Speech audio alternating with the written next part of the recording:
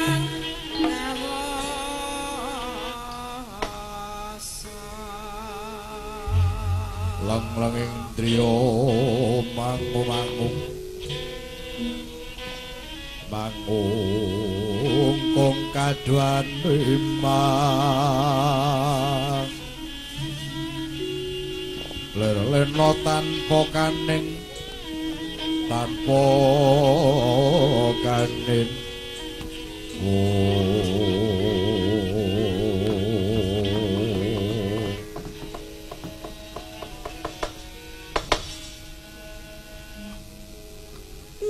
padake kaya salindri lan Wratnala kang padha sowan. Kuningkih Kusuma Dewi kang abdi paduka ingkang sami marak kula pun salindri. Tatampa bektimu. Tatampa bektimu salindri inggih Sang Dewi. Inggih Kusuma Dewi kula ngaturaken sungkem pangabekti Sang Dewi. Iya iya Wratnala. Patobat tobat. Sawetara wektu suwe ora katon marak nganti dadi pengarep-arepku Wratnala. Barang sira lunga saka kedaton ora pamit. Kang gladi karawitan lan gladi beksa aku ora nono Wratnala. Inggih wonten dalem sewu. Sang Dewi mangke dipun wangsuli kegladen manlih Gusti Putri. Salindri wonten timbalan Raden Ayu. Polatanmu kok kaya wong susah. Kuwi apa sira ora kerasan ana kene Salindri? Duh Kusuma Dewi. Kaluhuran dawu paduka luningge sisang manah kula amarga kula mentas nampi dukanipun keng Rama Gusti. Sira didukani Kanjeng Rama, luputmu apa Salindri? awit kula kadakwa dados dak-dakaning sedanipun Raden Patih Kencaka winaraden rupa kenca. Ing mangka kula babar pisan boten anglenggana Raden Ayu. Mangkono Salindri inggih. Para kula nyuwun pamit Raden Ayu. Para pamit nyang endi? Duh Kusuma Dewi. ingkang sinuwun paring dawuh kula patrapan pidana kedah kesah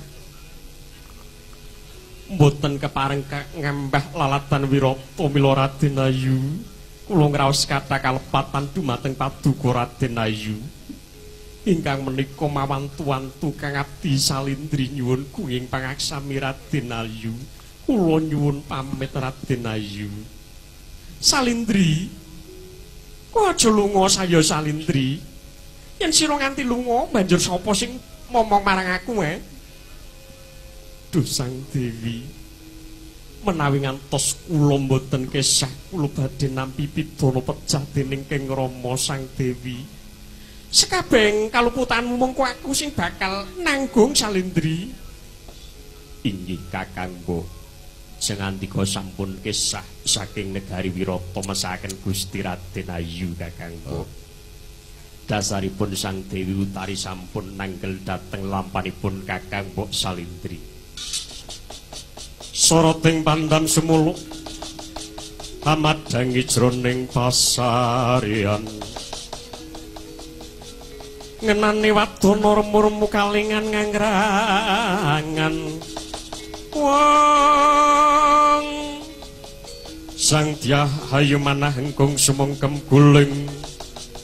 katon mangrepo berat runtik pronto adat runtik prabdanira Raden Utara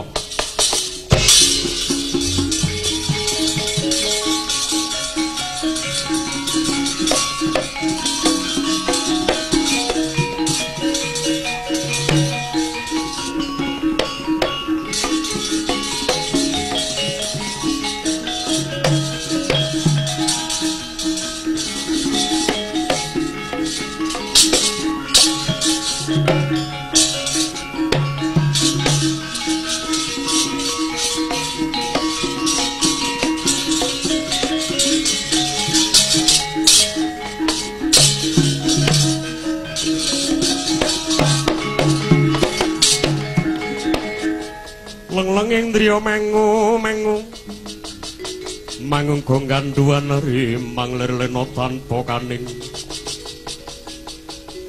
Yen tan tulus samutusa sang utama ing. Menika kakang Mas Utara ingkang rawuh wonten kedaton. Wonten menapa dene semengko rawuh paduka kakang Mas?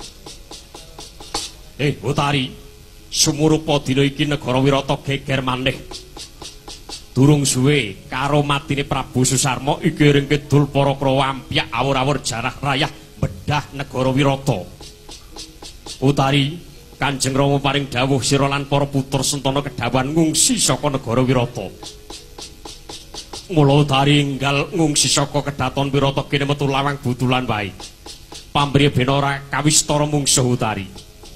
Patobat, tobat. Kakang Mas, kados pundi teka tumpuk matumpuk-tumpuk lelampan negari Wirata. Pancen lagi nampa pacoban kok Utari, Utari. Manggeri yen Raden. Lho. Salindri iki. Inggih kula kengati pun Salindri. Utari, kula wonten dawuh. Kok kowe nggondeli Salindri ku piye? Inggih prasajan kemawon Salindri kula gondeli Kakang Mas. Eh Salindri, wonten timbalan. Semune kowe arep darbe atur marang aku. Inggih Gusti. Gusti kula Raden Utara. Menawi ngantos paduka saestu jengkar loking jagat paduka kadang kininten paduka satru ingkang boten tanggel jawab dumateng negari paduka. Pangraos kula kados langgung kuncara menawi paduka manut ing manyut ing payudan mangsulaken para kurawa ingkang badhe ngrampit negari menika Raden. Eh, Salindri, wonten dawuh. Aturmu kuwi apa kowe nyorohake nyawaku? Yen nganti aku mangut palakan sepira kekuatanku mungsuh Kurawa. Raden, paduka menapa kesupen negara Wirata menika kagungan pusaka rupa kreta kencana.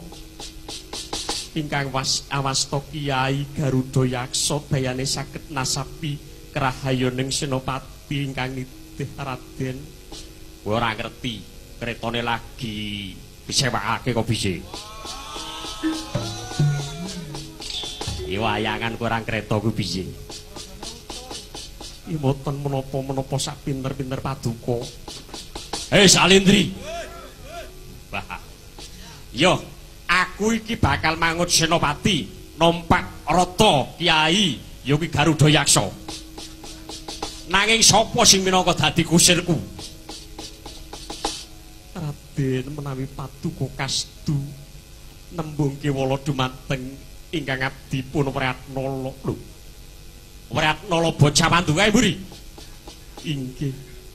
Lho, apa iso dadi kusir? Cobike mawon dipun takeni. Eh, Wratnala, kula wonten dawuh Raden. Apa kowe iso ngusiri? Ngusiri kreta? Inggih, menawi dipun keparangaken kula inggih purun Raden. Kowe tau dadi kusir? Inggih, nate. Kusir andhong apa kusir perang? Manut marang kebutuhan Raden. Kowe lah dalah. Yo, yen kaya mangkono kowe biyen tau ngusir perang uga? Inggih. Ngusiri sapa? Raden Arjuna Raden. Kowe putuku Janaka? Inggih. Kowe lah dalah. Oh, Janaka ning endi ya kowe Janaka? Semoga Raden katos pundi paduka Raden. Ya, bakal tak coba. Saya kuncara lamun aku iki bisa netih kereta Garuda Yaksa. Ayo ora nolo. Moderaken.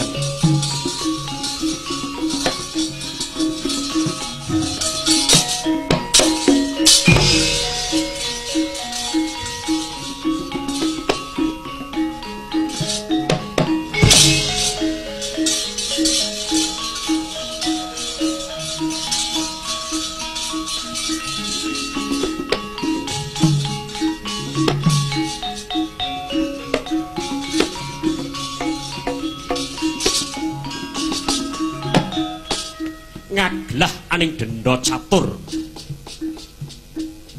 Denda dalan catur papat. Ana prapataning dedalan nenggih menika pusaka wirata Kyai Garuda Yaksa.